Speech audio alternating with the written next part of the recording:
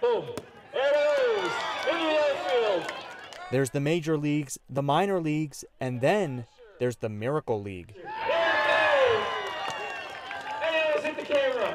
The Miracle League of Riverside Baseball kicking off its first season during Saturday's grand opening of Farrow Riverside Miracle Park. The park has been opening in phases over the past few years, but the baseball diamond was not ready until now because of pandemic related delays.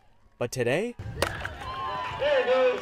the athletes are hitting the field. For many years, I was part of the Amherstburg Miracle League, and now I've signed up for Windsor, and I'll play out here now. Officials say more than 70 athletes are registered for the Riverside Miracle League's first season, but more could join from other parts of Essex County.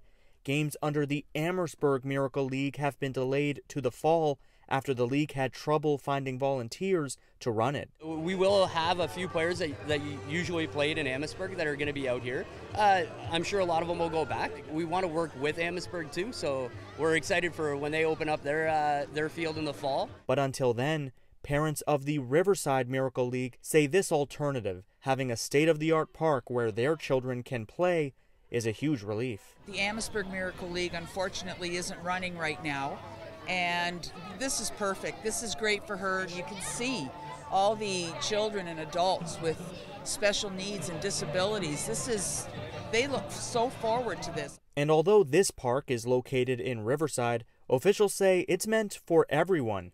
The baseball field can accommodate wheelchairs and walkers, and the playground, 13,000 square feet, among the largest in the country, is fully accessible. One, two, three strikes, you're out of the old ball game.